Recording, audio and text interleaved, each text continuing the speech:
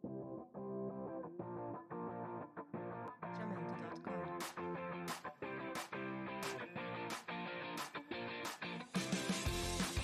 buenos días. Eh, somos eh, Miguel Ángel y Mari Carmen. Trabajamos aquí en la residencia universitaria Flora Tristán, coordinando el proyecto eh, social.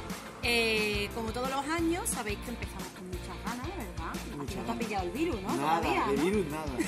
No hay virus. Y, y para empezar, como la formación es imprescindible para los colaboradores y las colaboradoras que vienen cada curso a participar en el barrio, pero también para, para, para otros voluntarios o para otra gente de la comunidad universitaria o de la sociedad en general, pues estáis eh, eh, invitados a participar en,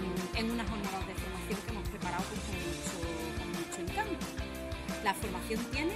eh, Seis laditos del polígono, seis lados en el polígono de formación, que son Educación, convivencia, es que me lo he puesto en otro orden. Eh, comunicación, cultura y contexto, arte y participación y comunidad. ¿Vale? Todos los viernes y el último sábado de octubre. Estos son un máximo de 24 horas de formación, que es la que brindará la Universidad Pablo de la Vida.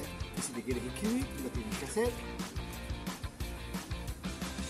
en el correo corporativo de la Fundación. Eso, eso, lo freís a él. A mí no. Adiós. ¡Adiós!